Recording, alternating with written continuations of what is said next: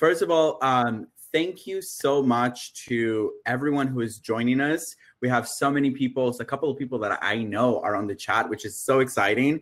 Um, and a lot of people that I have yet to meet. So definitely looking forward to uh, connecting with some of you. So as um, more people join the this session, I highly encourage you to utilize this chat as a form of communication with us and also obviously to connect with other people. Um, but it's going to be really important during our session for you to do two things. Very important. One, tell us where you're joining from. You know, we have a lot of people from so many different places. I'm joining from New York City, and Renee, you're joining from San Francisco. Whew. Other side other side of the US, look a little bit far, you know. So we have so many people joining from Los Angeles. We have Portland in the house, Phoenix, wow, San Francisco, another Bay Area, amazing, Berkeley, New York, of course. We're Latinos are all over the place. Leave it up to the Latinx people to go all over the place. We love to explore. Yes, amazing.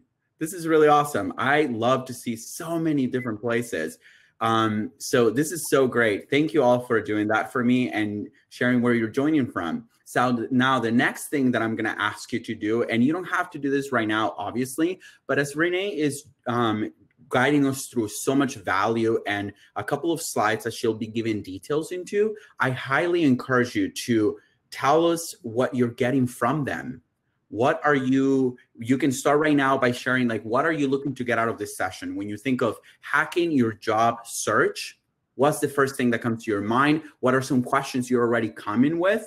And we are happy to include those questions during the the presentation that renee will be giving to make sure that you can walk out with your questions answered and get the value that you need for your own way of learning how to hack your own job search so highly recommend for you to drop those questions on the chat.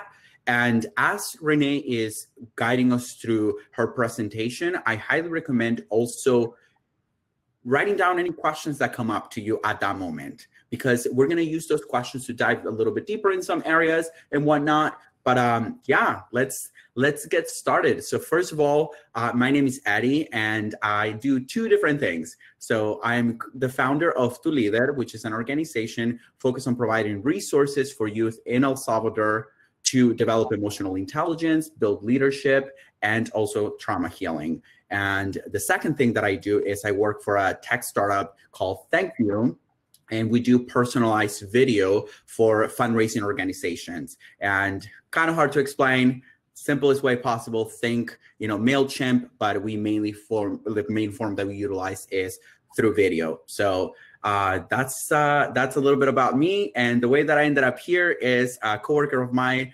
mine told me about Techqueria and it's become my biggest obsession. So definitely thankful and excited to have such platform like this where we can connect with people from so many different backgrounds. But before I go into anything else, I just want to welcome one of the most exciting people that I have met this this probably this last two weeks. And the reason why I say that is because it's uh, someone that has a lot of value to share. First of all, not just for you, but a lot of things for me to learn as well. Uh, she's joining us from San Francisco, as she share. And Renee has been working at Google for what seems to be now six years.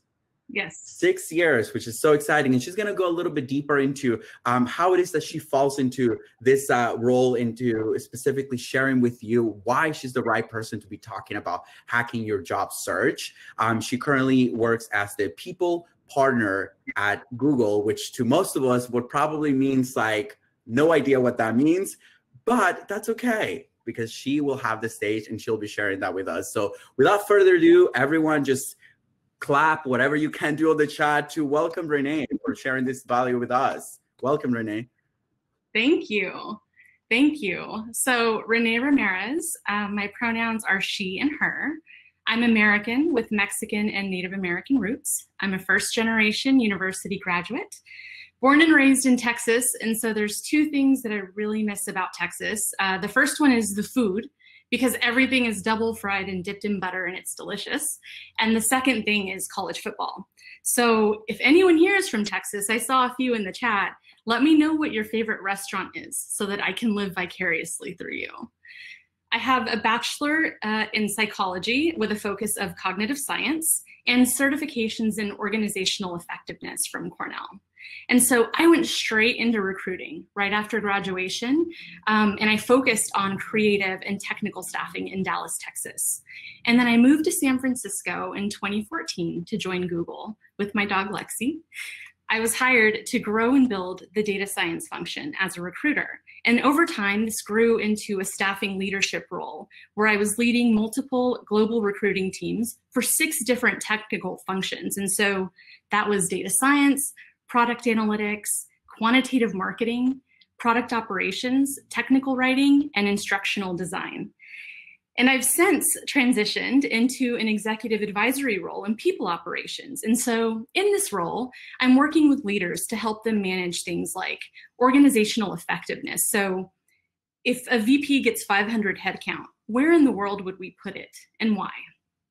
Talent management. So think about how you would grow all of the people on your team. And this is all through a lens of DEI. Executive coaching is also part of my role. Um, I'm a facilitator for company-wide trainings on diversity, equity, and inclusion. And it's very important for me to focus my energy on building Latinx leadership and executive presence in tech. And so I've also founded the company's first Latinx mentorship program, which is called La Conexión. So I'm so happy to be here with you and really set the stage for day one with our summit theme of getting hired. And I took a poll on LinkedIn to understand what job seekers wanted to know. So the time that we have today is really an overview of those top themes. And I wanna take you through the entire life cycle of the job search. So starting with how, how do you even start looking for jobs all the way to the interview process and even into the offer stage. And you'll notice that there are sessions later today and tomorrow that double click into some of these hot topics as well. So jumping right in. I want to acknowledge the world that we're in today with COVID-19. And so everything that I say today mm-hmm. is going to be through that lens. Our community has been disproportionately affected by this, and many of us are not working right now. And so my objective is to pull the curtain back today and share insight so that you quickly move to the top of the candidate pipeline.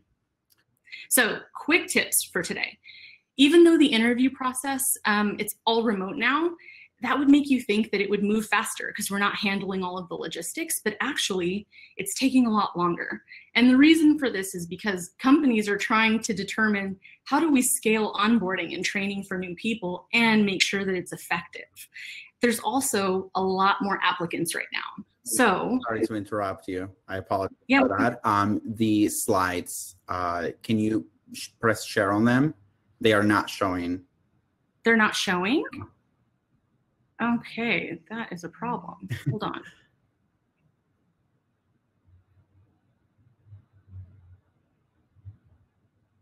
Thank you for letting me know. I thought we had that set up.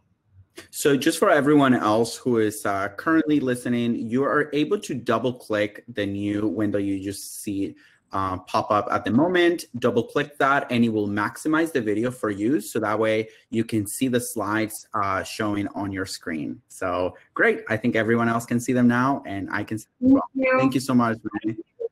No, thanks, Eddie. So this was my intro slide so I could show you Lexi. That was the main point of the slide, to be honest. And then here was the agenda that I was talking about when I was taking that poll on LinkedIn so that you can all see what are those top themes that people want to know. And here, here I was. So I was talking about COVID and being disproportionately affected. And so um, because many of us are not working, my objective is to move you to the top of the pipeline and share some things that candidates don't know. So jumping into the quick tips of COVID. So even though the interview processes are all remote, you know, I was mentioning companies are trying to scale onboarding and that's slowing everything down. Plus there's a lot more applicants. So stay positive, um, and be patient. Get creative with your recruiter.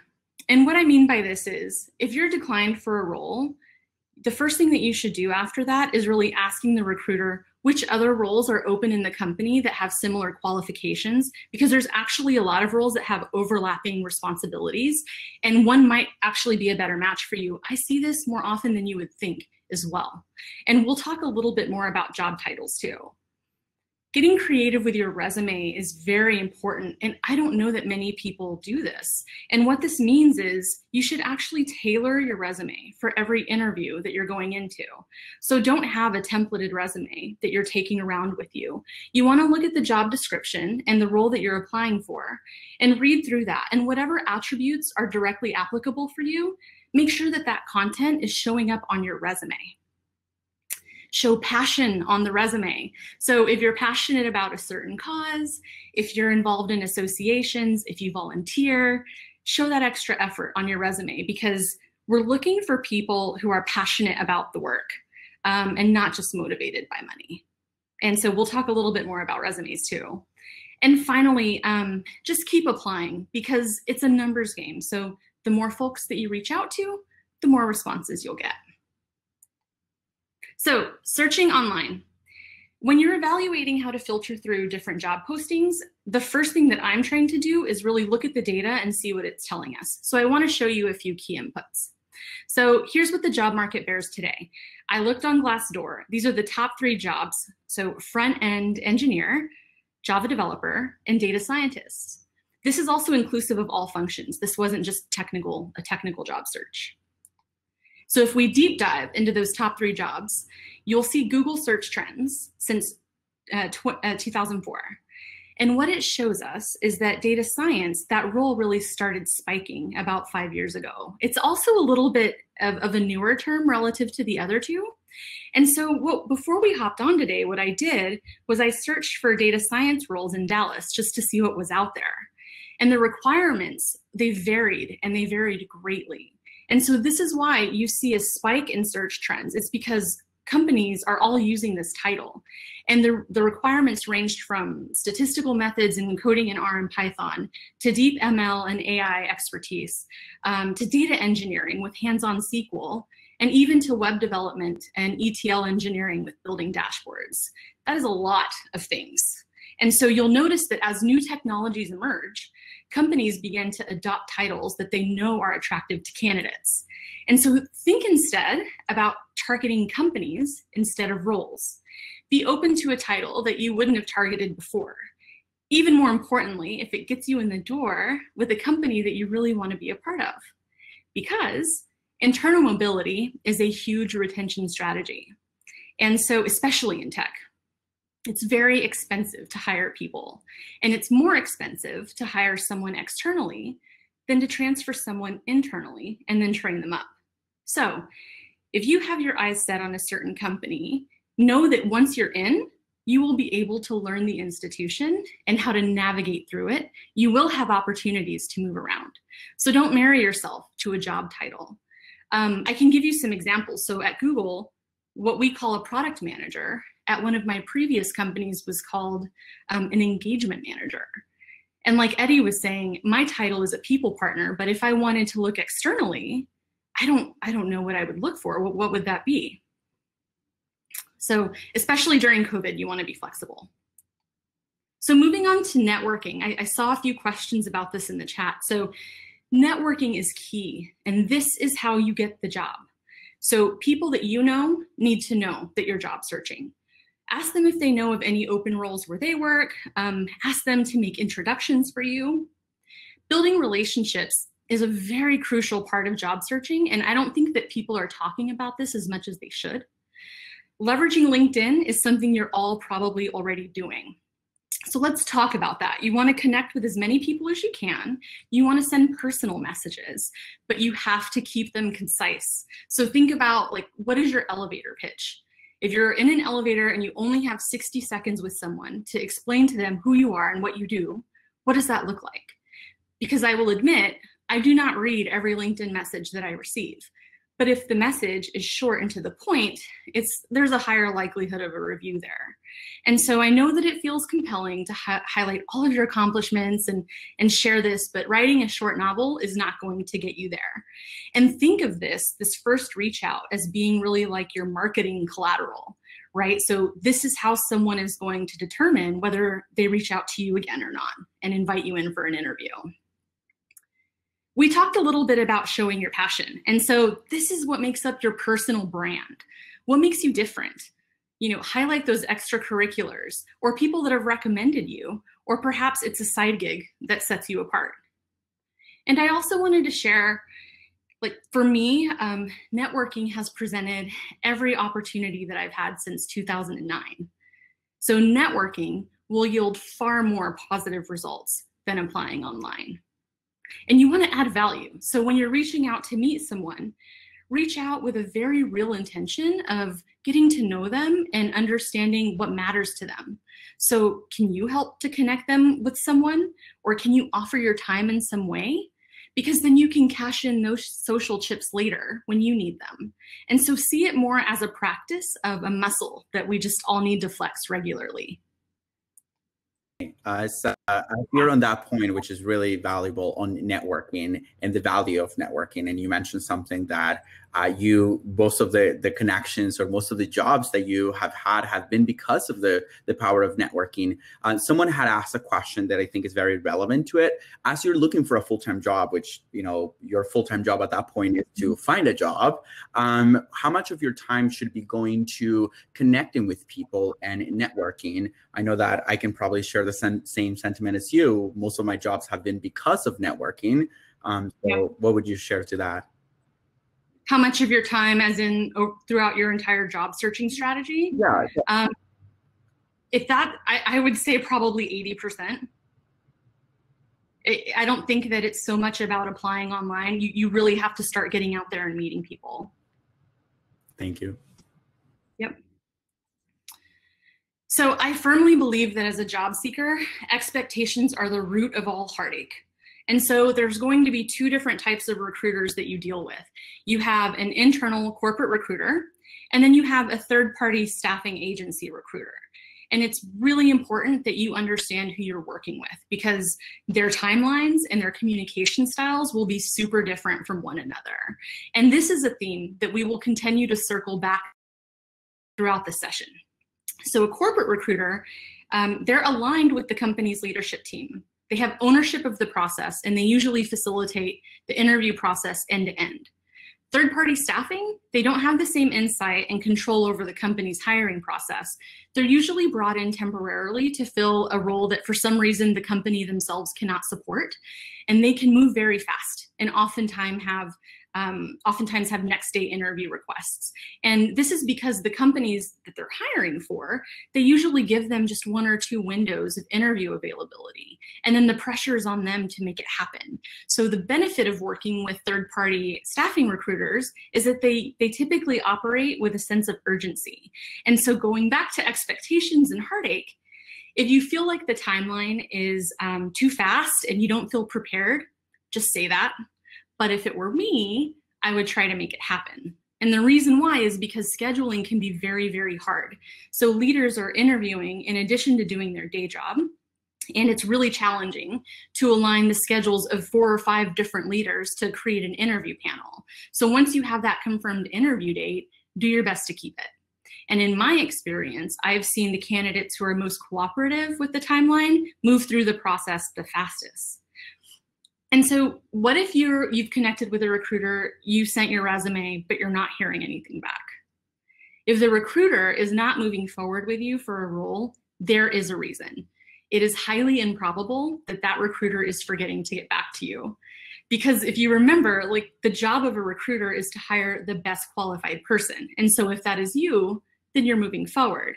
And this is an opportunity for you to ask them for feedback about what the hiring team is looking for. Because in recruiting, we have qualifications and then we have the nice to haves on top of it, what, what's even better. And hiring decisions are usually made on both. And so usually it's a, a very specific skill that someone else is bringing.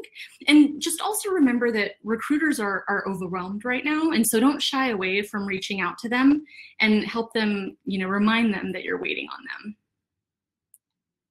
There's an AMA with recruiters later today, and then we also have another session tomorrow if you all have more questions.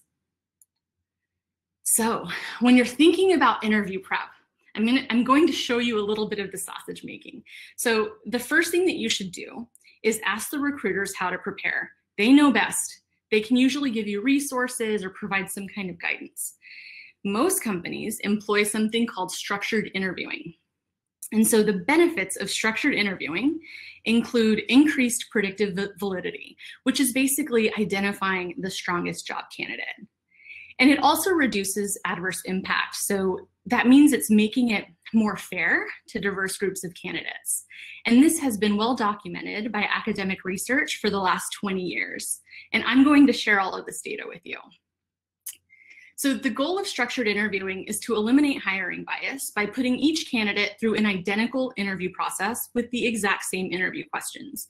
This helps us to develop a consistent standard by which candidates are evaluated, which also means you're eliminating that objective opinion.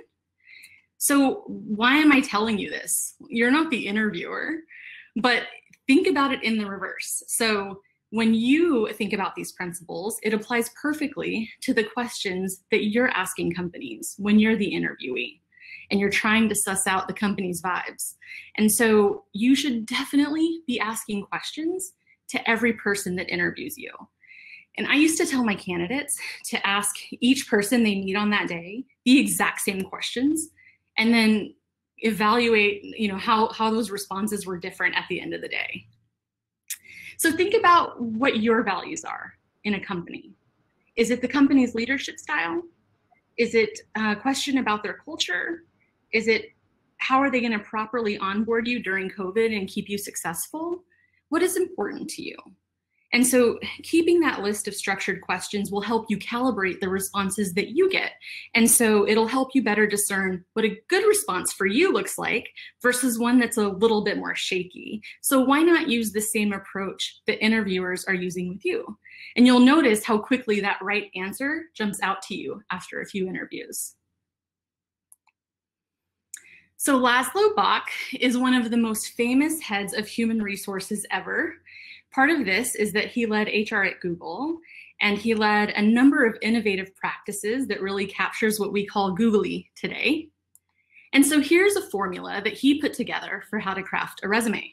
And you will see that it all anchors on impact. So I accomplished X as measured by Y by doing Z. What matters is the change that you drove with your work. What did you do? And then how did it change things? And another resume tip to consider is, you know, if someone is reading your resume, is it easy for them to determine how recently you've worked with a certain technology or scripting language, um, or even what your skill level is with it?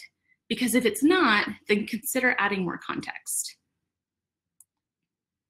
So let's talk about how you will walk out of the door doing better than everyone else in the pipeline. So before we move on to the next slide, I have a question for you that came from the chat.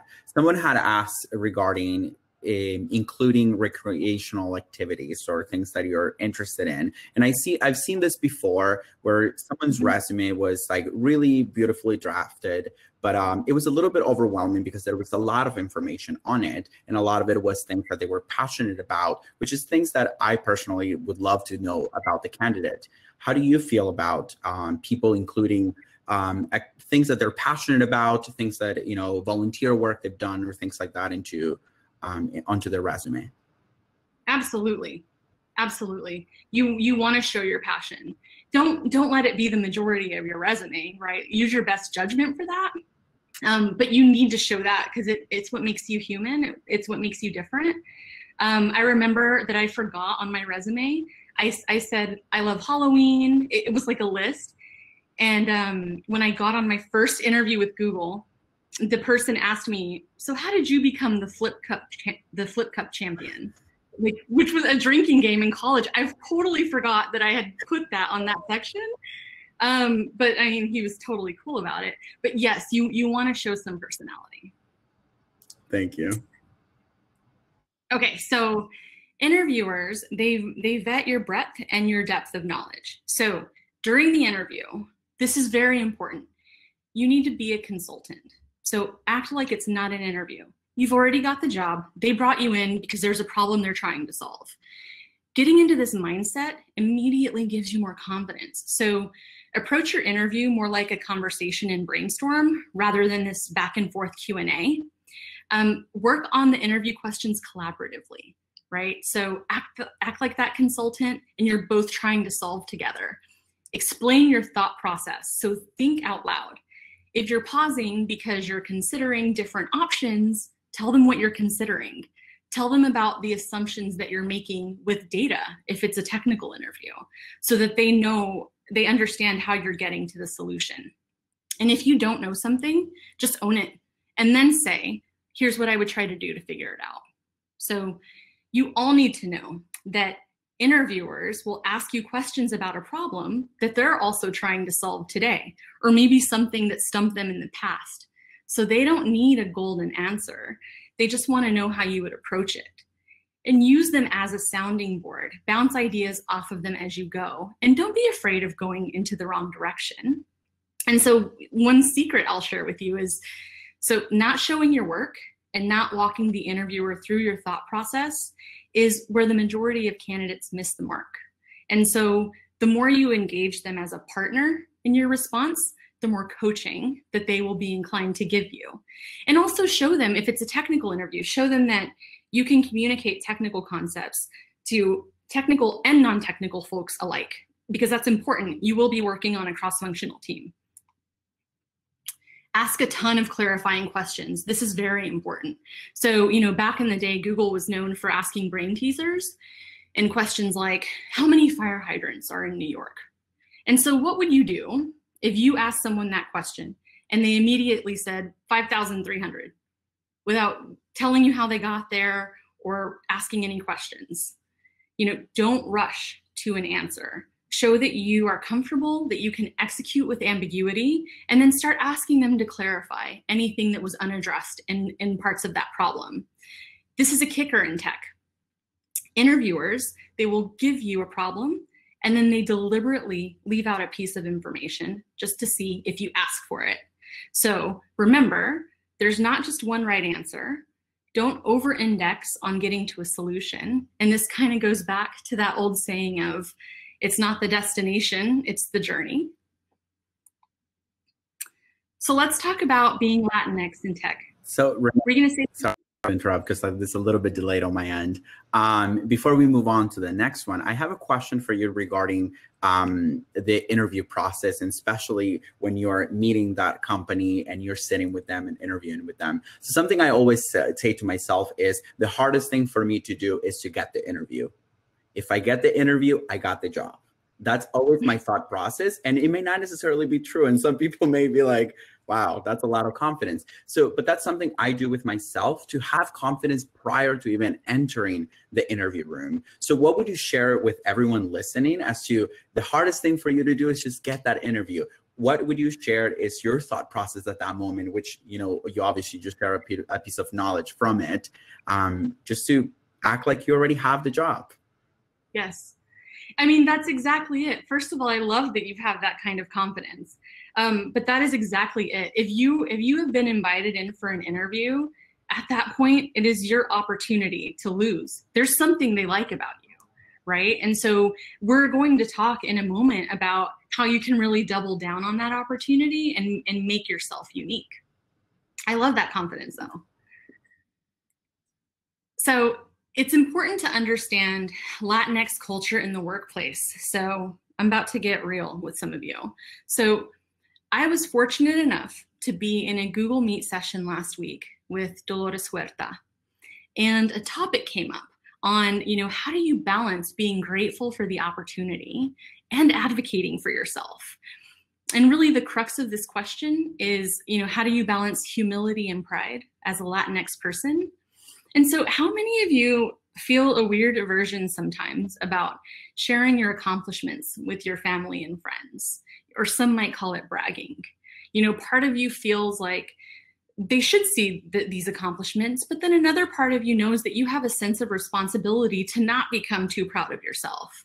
And so think about spending your life with this understanding, and then suddenly you're thrust into an interviewing environment where everyone seemingly brags about themselves because isn't that the point of interviewing to show how amazing you are?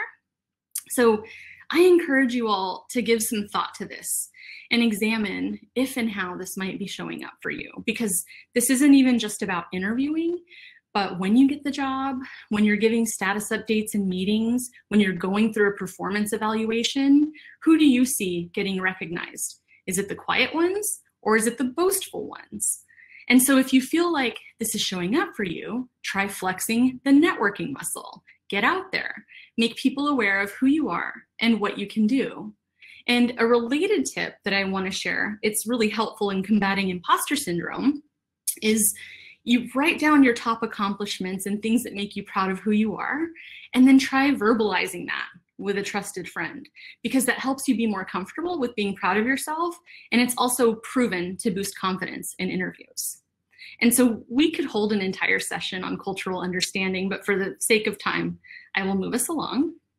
So getting back to structured interviewing and those evergreen questions that you're going to ask every company, being Latinx in tech also means curiosity for how companies are approaching DEI.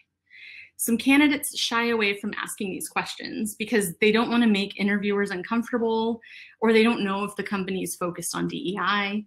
But you know, recruiters want to understand your motivation just like you want to understand the company's motivation. So this could be as simple as asking, how is the company approaching diversity, equity, and inclusion? It's an open-ended question, just like the ones that you've been asked all day. And come with your non-negotiables, like Eddie calls them, of what you want in a company. And you really need to see the opportunity here because let's say it's a startup or a smaller company and they haven't started looking at their business through the lens of DEI yet. What value could you add? Would it be something that you'd be interested in helping them with? Because you are all here today with the community. You clearly care about this. So make sure it's apparent on your resume and take your moment.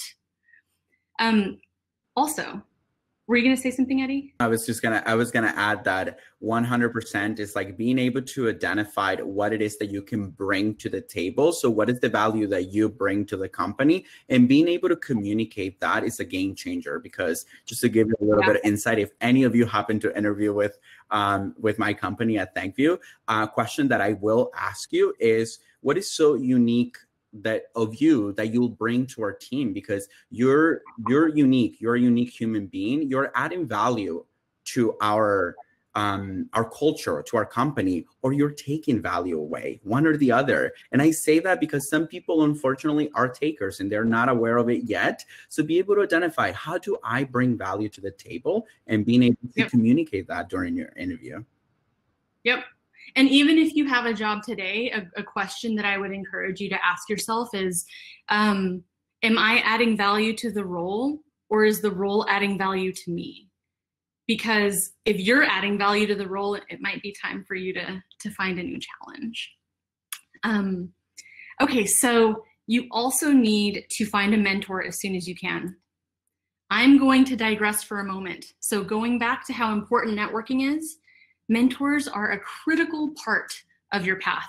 So according to research from the Center for Talent Innovation, 85% of women and 81% of multicultural professionals need navigational support to figure out how to best succeed in the workplace, but they don't often receive it with the same regularity as men.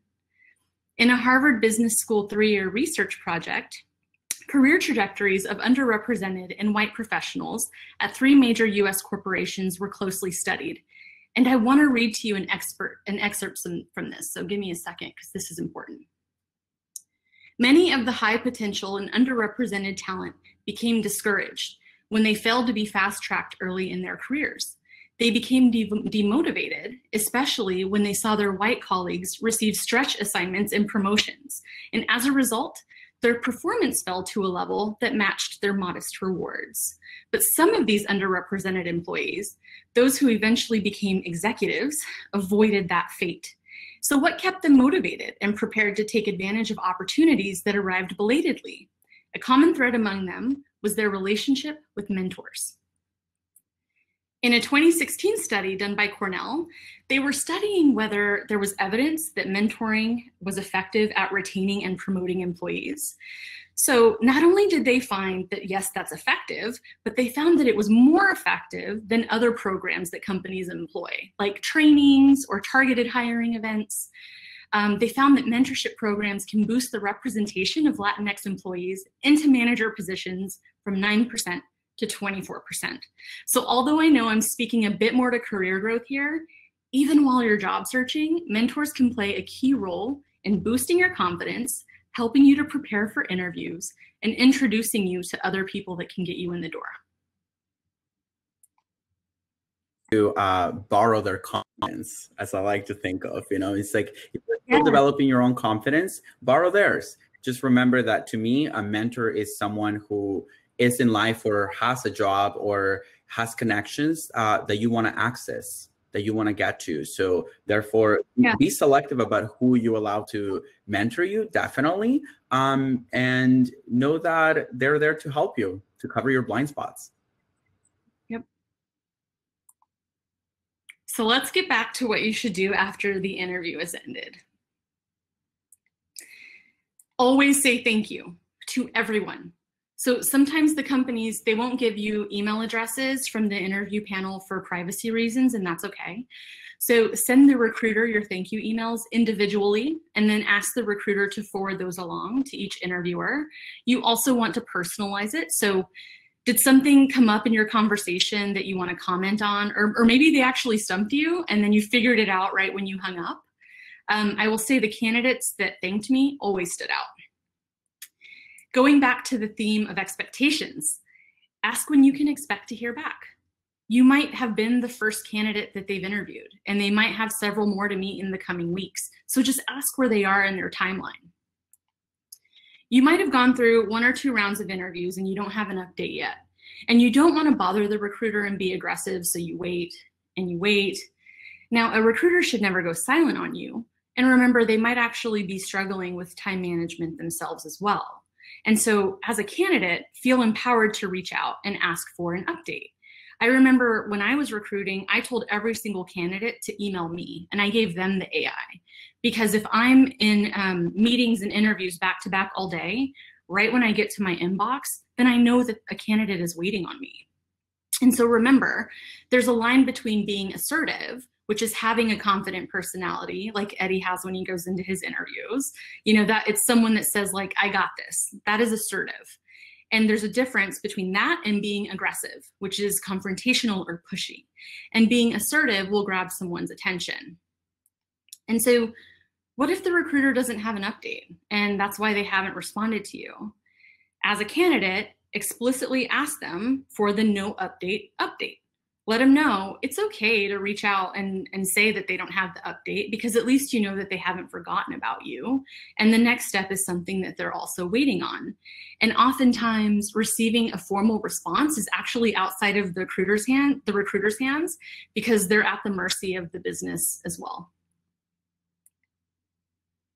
So let's assume you're in the final stages now and the conversation starts around compensation. Always negotiate always, always, because I will tell you, everybody is doing it.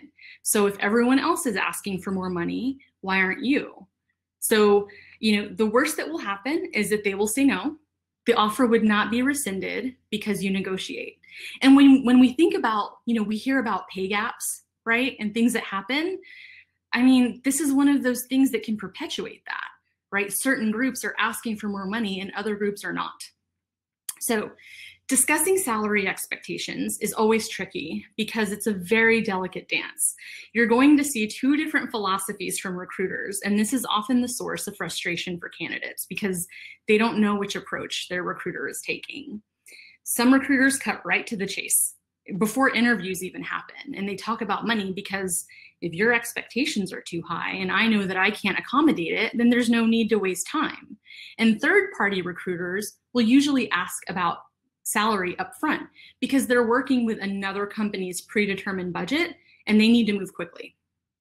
The other approach is holding on salary discussions until there's a determined mutual match between the hiring team and the candidate. And corporate recruiters usually fall on that side of the spectrum.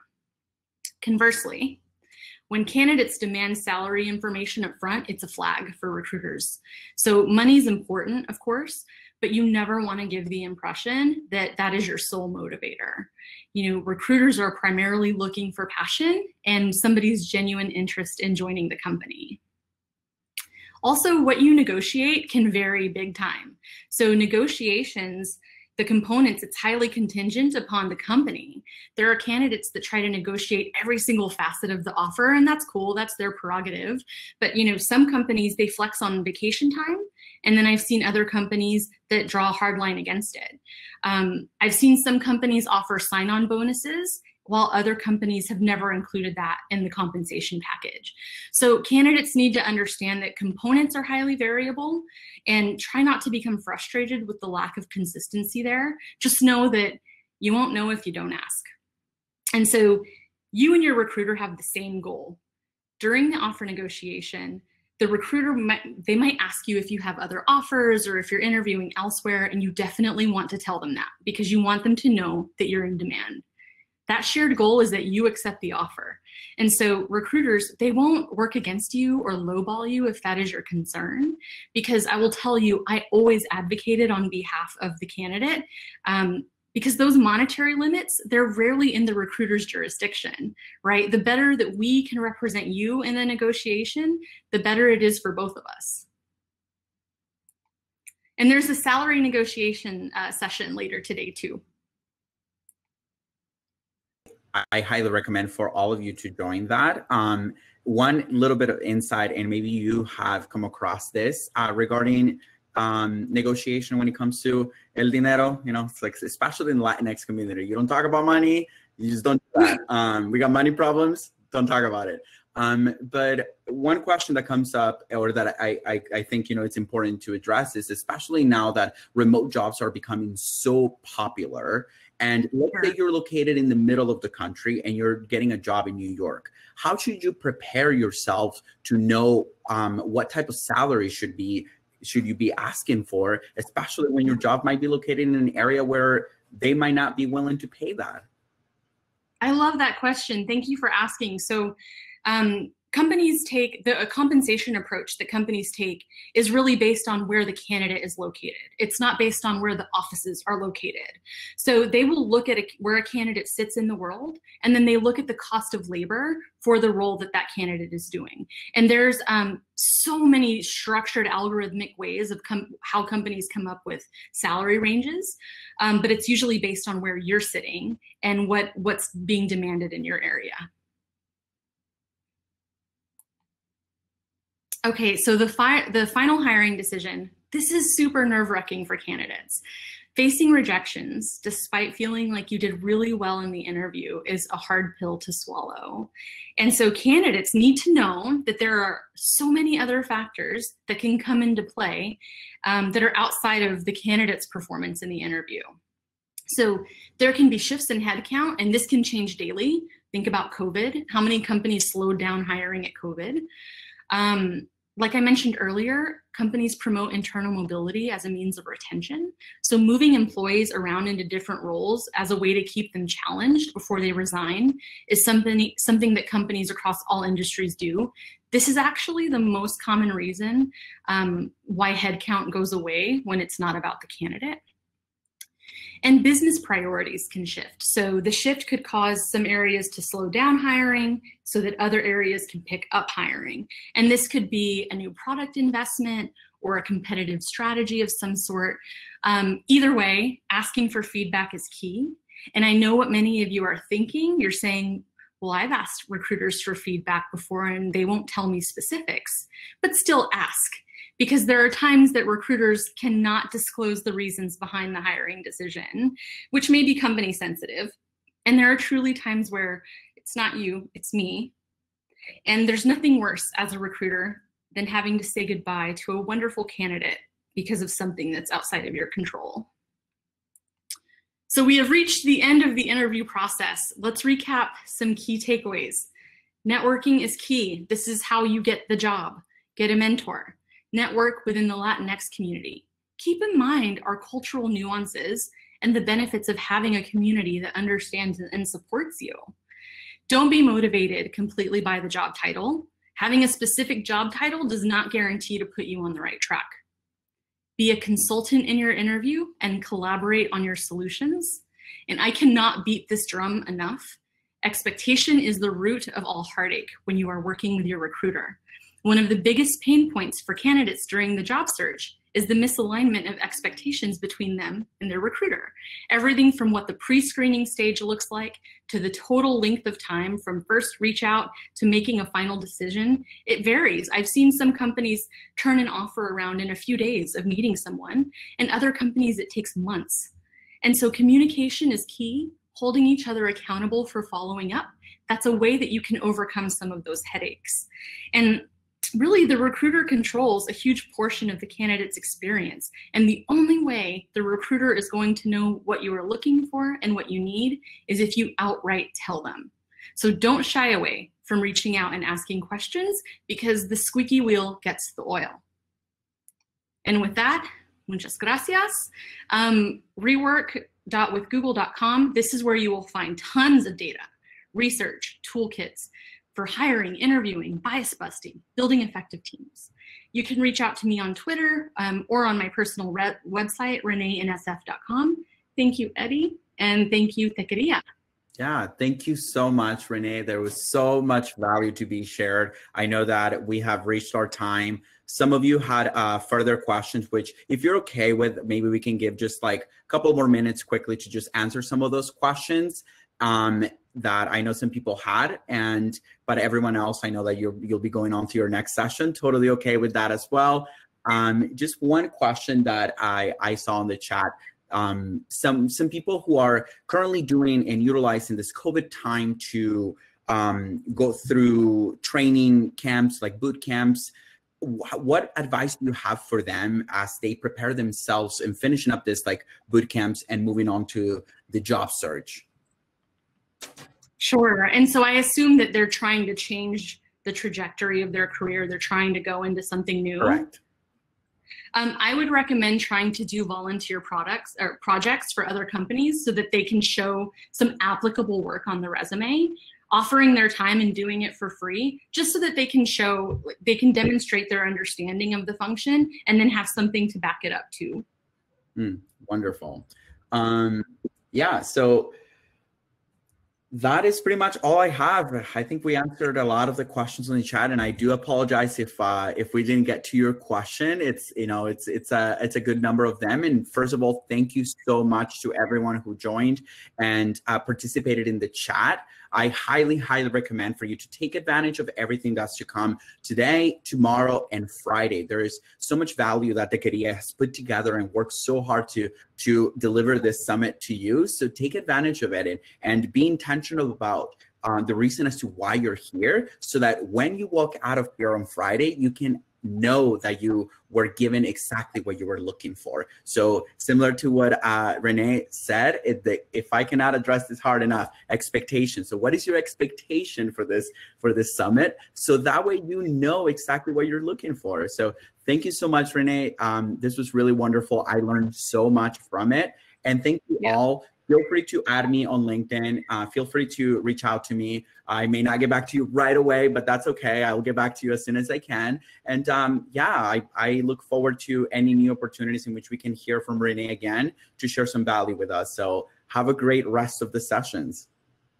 Thank you. I also just want to say that Black Lives Matter. Thank you. 100%. Thank you. Have a great day, y'all. Bye, everyone.